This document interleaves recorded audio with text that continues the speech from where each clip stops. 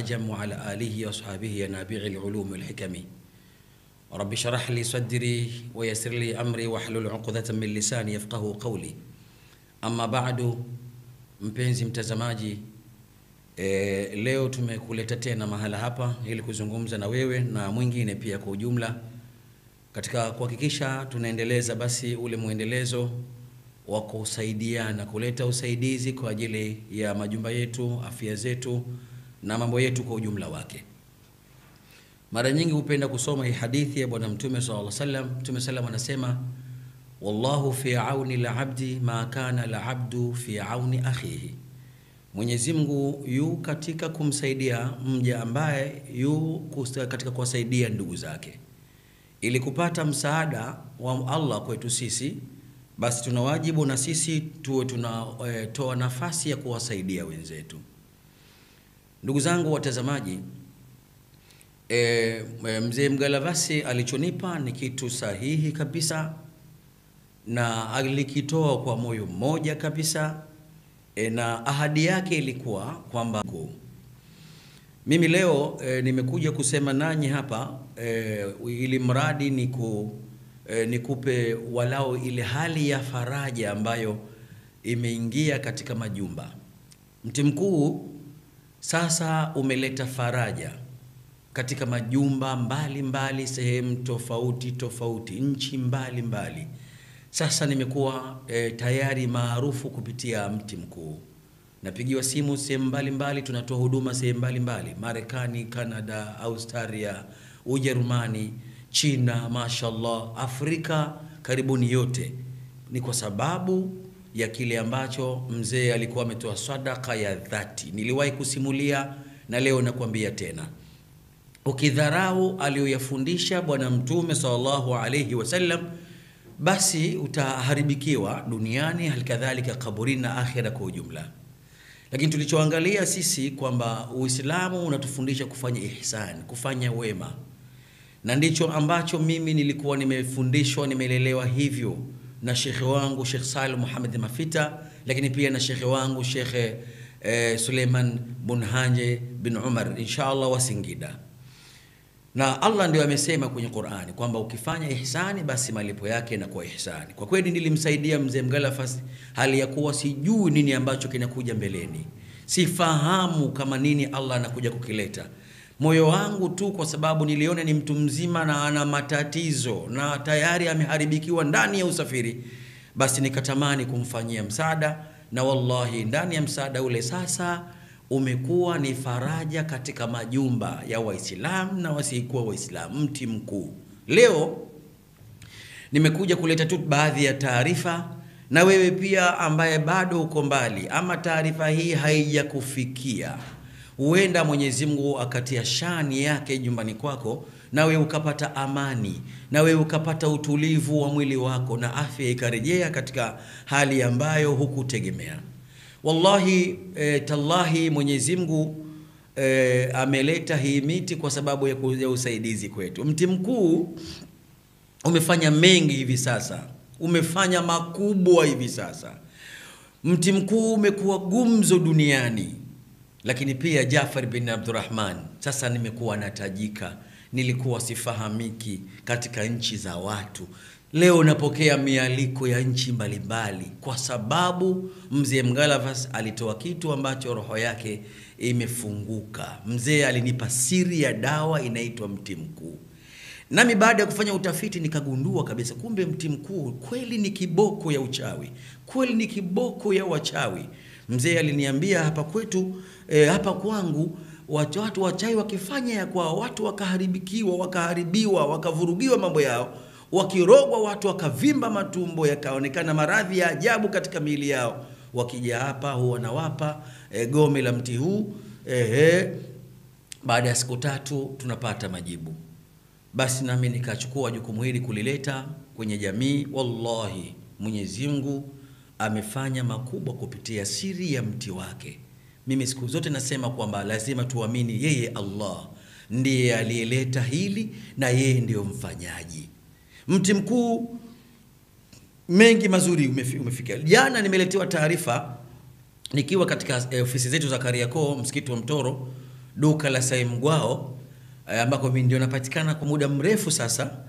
Eh, nililetewa taarifa ya mtoto ambaye eh, mtoto huyu alifungwa kauli, kazaliwa anajua kusema, lakini ghafla tu mdomo ukazuiliwa na wabaya mushirikina.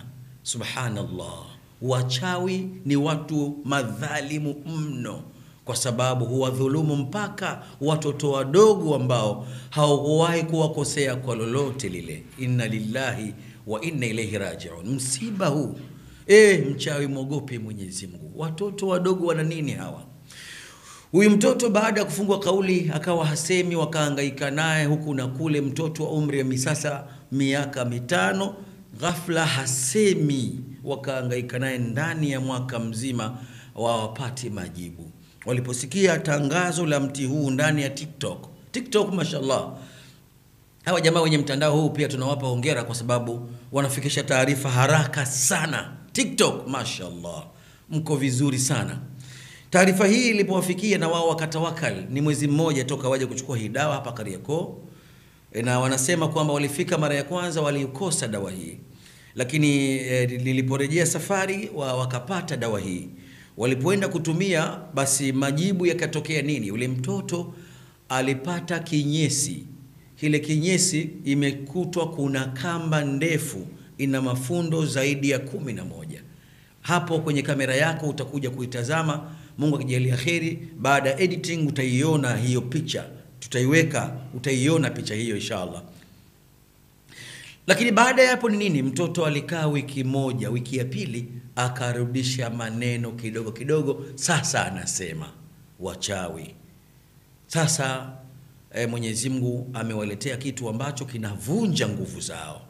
Allahu akbar, mti mkuu. Lakini kama itoshi, mama mmoja yeye, naomba msikilize, ni leo nikuletea matukio tu, faraja ambayo imekuja katika majumba, ni leo tu. Nitakuja kuongea mengi siku nyingine, lakini leo naleta faraja. Emfuatilia hizi faraja. Mama mmoja yeye alikuwa anasafiri kwenda Zanzibar, lakini alikosa nafasi ya kuja katika ofisi zetu. Alichokifanya, aliagiza kijana wetu wa bodaboda ambaye anapatikana hapa Mtoro, na wewe pia ulioko Dar es Salaam, kama nafasi ya kufika hapa unaweza ukaletewa mpaka ulipo. Akakimbiziwa hii dawa, muda tukapishana. Yeye alikuwa anakwenda zake Uarabuni, lakini baadaye, bila kutaja jina lake, alieleza mrejesho, nini ambacho kilikuwa kinamsumbua. Naomba sikiliza sauti hii hapa, bismillah. Tafanyaje? Naona maisha yangu yalikuwa yana shida, yana dhiki, lakini alhamdulillah, kwa uwezo wa Mwenyezi Mungu na baraka zake na utukufu wake Mwenyezi Mungu, vile juzi nilivyokuwa nimekwambia, nikakwambia mimi nimetumia, lakini bado tatizo naliona kuhusu mume wangu. Kila akikaa nakwambia mara nataka kufa, kila utakachoongea nacho ni maneno ya matusi, makaraha, jazba ya walai shekh. Na nimeolewa mimi tangu na miaka kumi na nne mpaka sasa ni mtu mzima na miaka hamsini, lakini katikati tangu ulivyoanza kupata riziki kama miaka kuanzia miaka na miaka ishirini na tano mpaka leo ulikuwa sijaiona amani walai shekhe, yani ilikuwa naishi kwenye shida dhiki, mpaka nimekimbia nyumba yangu.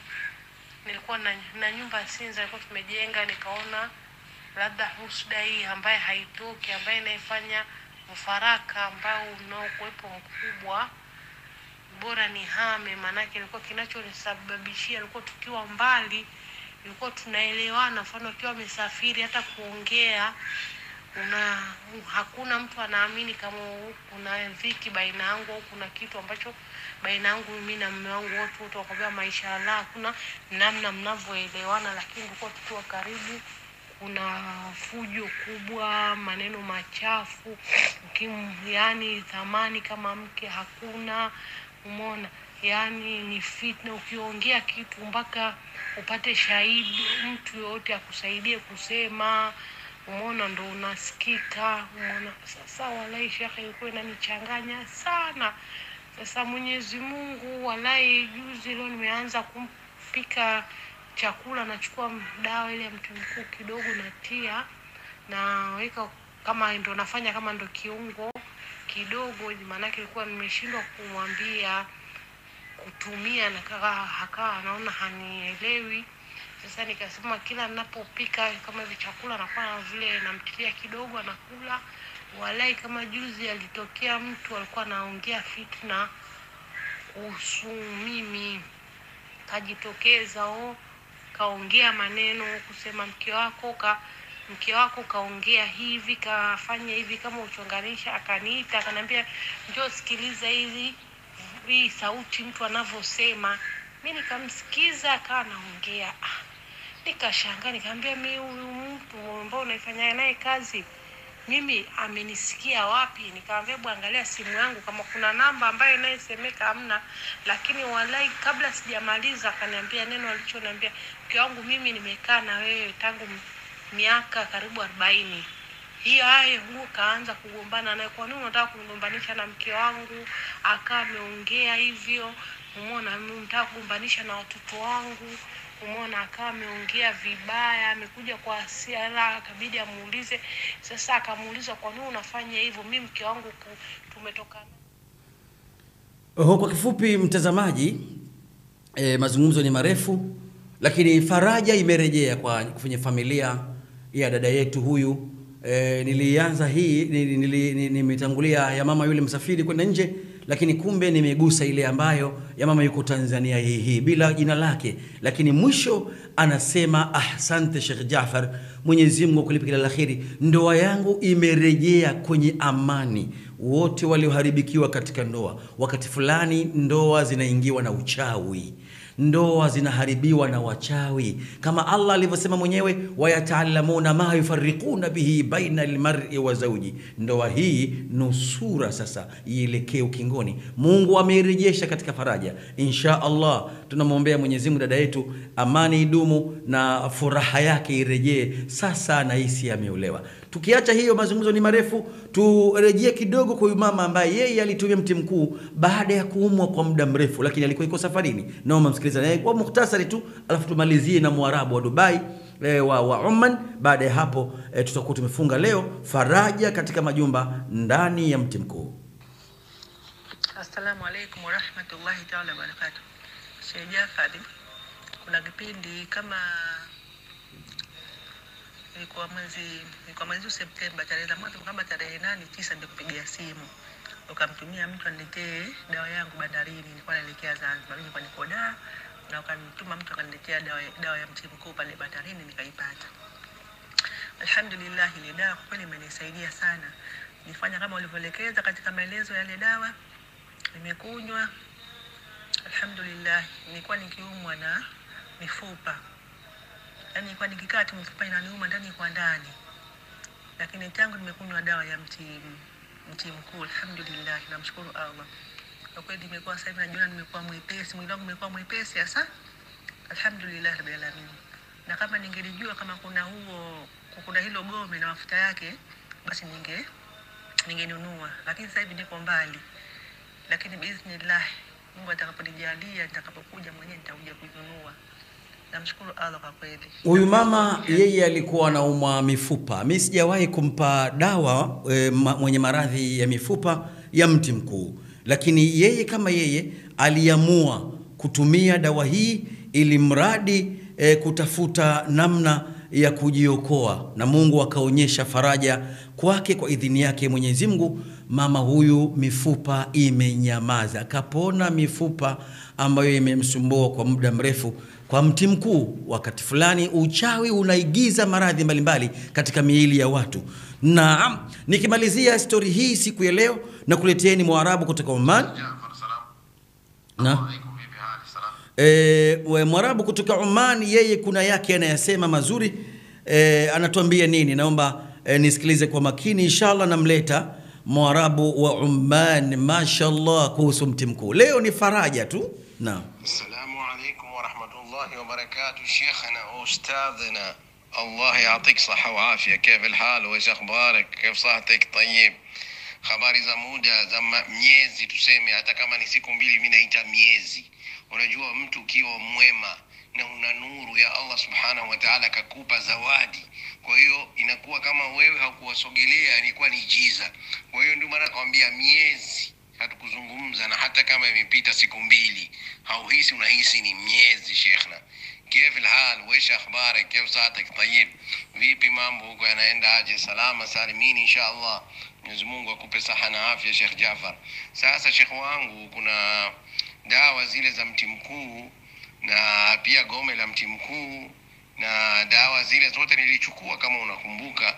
Alhamdulillah wa alhamdulillah wal minna min allah subhanahu wa taala. Yani dawa mashallah mashallah mashallah. Sina neno yani walivyosema wenzangu wanaona na wanahisi. Kwa ukweli nimethibitisha kuwa masha Allahumma la hasad tabaraka rahman, ni dawa kabisa kabisa kabisa Sheikh, ila ufuatilie na uzingatie unavyoelekezwa kuitumia na mashariti yake. Lakini biidhnillah ni dawa. Na nimeona mambo mengi nimeona watu wengi yani masha allah masha allah masha allah. Kwa hiyo shekhu wangu inaelekea au inavyoonyesha. Sio muda mrefu mungu akitupa uzima na saha na afya insha allah itabidi uniongeze uni- zingine kopo fulani hivi. Kopo fulani hivi alafu na mti na, na, na, na, na gome pia. Na kama kuna dawa nyingine ile ya cholesterol nimeitumia pia masha allah. Na sasa nataka dawa ile ulizungumzia ya presha. unasikia ndugu yangu ya pressure. Sababu hapa presha sukari inawahalikisha watu. Kwa hiyo naitaka hiyo naitamani sana shekh kwa hiyo inshallah tutazungumza mungu akipenda. Naam, huyu anaitwa eh, Rashid Al-Harthi na mwenyewe alisema eh, hata ukinitaja si tatizo, kwa sababu ni mtu maarufu kule nchini Oman, anafanya shughuli zake katika nchi hiyo, na yeye pia ni mkazi wa hapo, mzaliwa wa Oman. Mashaallah, mpenzi mtazamaji, nimekuletea matukio na lengo langu ni kuonyesha kwamba faraja kweli imerejea katika majumba ya watu ndani ya mti mkuu. Wachawi wadhalilika, acha liko tukio kubwa limetokea hapa hapa Dar es Salaam. Dada wetu, dada mmoja wa Kikristo, yeye sio Muislamu, lakini alikubali kubeba mzigo wa mke wa ndugu yao aliyefariki, ili mradi apate kumstiri kwa kukosa makazi kule, akituhumiwa uchawi. Basi yeye alipomchukua huyu- eh, wifi yake kukaa naye hapa Dar es Salaam. Baada ya kukaa naye muda mfupi tu wakaanza kuhisi longolongo kwenye nyumba yao. Hapo ndipo walipoamua kufuatilia haya matangazo ndani ya YouTube na TikTok. Sasa akafika e, msikiti wa Mtoro kuchukua dawa gome e, e, mti mkuu wa unga na mafuta. Yeye kwa kuwa iko bize, akamwagiza kijana ampelekee nyumbani. Dawa zile zilipofika nyumbani, akapigiwa simu yule wifi, sijui mama yake mdogo, anaaga, anakusanya nguo zake, anasema tena makazi yamemshinda, hawezi tena kuwepo mahala hapa, bora akatokomee kokote anakoelekea. Kilikuwa ni kihoja kizuri sana, nilitamani mwenyewe aseme, lakini ilisafiri kwenye mihadhara na Sheikh Nuruddin Kishki, akakosekana huyu mama kuja kusema pamoja nanyi, lakini alikuwa yuko tayari kusema pamoja nanyi ili kutoa ushuhuda kwa kile ambacho kimetokea. Kweli yule mama akakimbia nyumbani baada ya kufika mti mkuu na wala hakuwa na safari. Hivyo basi mti mkuu umeendelea kuleta faraja maeneo mbalimbali, na niseme insha Allah, wewe ambaye bado hujafikiwa na dawa hii, nimesema hata kama huna maradhi kwa sasa, huna chochote kinachokusumbua, lakini una, una familia, una nyumba unaishi, wabaya wako duniani, adui wetu ni sheitani, yuko duniani, yuko hai, anaendelea kupambana, na sisi. Kaa na mti mkuu katika nyumba yako, kaa na mafuta ya mti mkuu, weka gome katika nyumba yako. Ehe, insha Allah utaona utulivu wa nyumba na amani inavyopatikana. Ni siri ambayo Allah ameweka mwenyewe katika viumbe wenzetu ili tupate usaidizi kupitia kwao. La mwisho mta mtazamaji, e, leo tunaye Sheikh Rashid Pilingu. Nataka aseme kitu juu ya wagonjwa wake. Huyu e, Rashid Pilingu ni katika watu ambao e, walitia msaada mkubwa kwangu, nami nikajua tiba hii ya Mtume Muhammad sallallahu alayhi wasallam. Shemeji yake Matotola, shemeji yake Adelenki, mashallah. Lakini niseme tu kwamba namleta kwenye Ah, namshukuru ndugu yangu Ustadh Jafar kwa kuwa naye hapa live katika kipindi hiki cha hewani.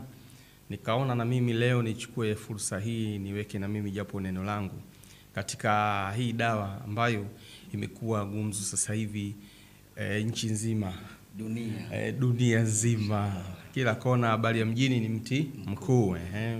Nikasema isinipite bure na mimi nitie neno. Ndugu zangu, katika vitu ambavyo watu hawafahamu kwa upana wake, pale Mwenyezi Mungu Subhanahu wa Ta'ala alipozungumza kuhusu uchawi katika Qurani, Mwenyezi Mungu Subhanahu wa Ta'ala katika ile sura Bakara aya 102 aliposema eh, wattabau ma tatlu shayatinu ala mulki Suleiman, kuna kipande chini akaelezea kuhusu watu walivyojifunza uchawi, akasema wayataallamuna minhuma ma yufarriquna bihi baina almar'i wa zawji, kwamba walijifunza wale watu kutoka kwa wale malaika wawili, ma uchawi ambao yufarriquna bihi baina almar'i wa zawji, kutokana na uchawi ule waliweza kufarakanisha baina ya mtu na mkewe. Hapa tunapata kitu kinachoitwa sihru tafriq, uchawi wa kufarakanisha. Hii ni aina fulani maalumu ya uchawi ambayo kitaalamu inaitwa sihrul wisada. Ni uchawi wa mapenzi ambapo mtu ana, anaingilia katika kutaka kutengeneza au katika kuharibu watu wanaokuwa walikuwa wanapendana, watu ambao wana, wanapendana. Sasa hapa Qurani ikatutajia upande wa kufarakanisha mtu na mkewe tu, lakini haina maana kwamba faraka iko hapo tu pekee, maanake uchawi unafika mbali, bali Qurani haikutaka kuchambua kila aina ya kufarakanisha, lakini kila aina ya kufarakanisha ni ule ule uchawi unaendelea. Kwa hiyo hapa kufarakanisha baina ya mtu na mkewe ndio Mungu ametaja kwenye Qurani, lakini kuna mtu anapigwa farka nyingine ya kufarakanisha yeye na ndugu zake.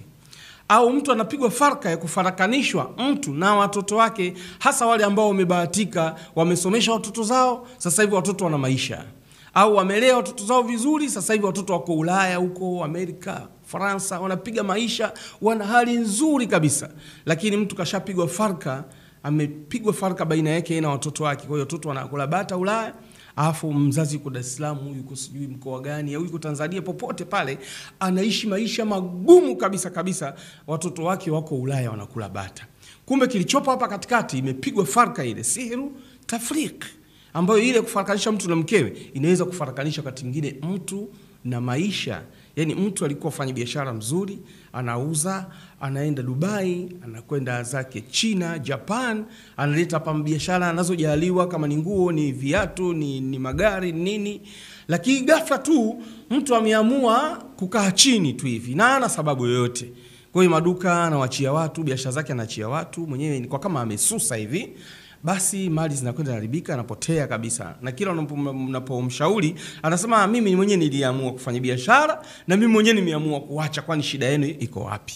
Kwa hiyo mtu atakuwa amepigwa sihiri tafrik ya kufarakanisha mtu na shughuli za utafutaji wa maisha. Sasa katika maajabu ambayo yalijitokeza katika watu ambao wamethibitisha wenyewe, kuna watu walikuwa wamepigwa sihiri tafrik, waliofarakanishwa baina ya watu walikuwa wakipendana, watu walikuwa wakiishi pamoja, wamepigwa sihiri tafrik, lakini kwa kutumia hii dawa ya mtu. Baada ya kupewa mti mkuu na kuula, muda tu ghafla akajikuta kama alilala usingizi, ameamka ana, ana anatembelewa na familia yake, mke alimwacha, wamekuja kumwona wake, asema sikumbuki katika akili yangu kwamba niliwahi kutoa talaka kumpa mke wangu. Kwa hiyo ndugu zangu katika imani, Allah subhanahu wa ta'ala ametujalia hii ni neema, tuitumie. Mungu amemchagua Ustazi Jafar tanyie dawa yake, akajaliwa kujua yule tu ambaye alijaribu kutafuta kujua na Mungu akampa kujua, na watabaki kuwa hawajui wale wale ambao hawakupaka chini. Nikinyanyuka tu naona giza la kizunguzungu hivi, kwa hiyo lazima nisimame hivi nipoe, alafu ndio, ndio ile giza liniondoke niweze kutembea. Mtume, je, wewe una swala ya kumzidi mtume? Una dua za kumzidi? Kwa hiyo mitihani inaweza kumtokea mtu yoyote, kwa hiyo muhimu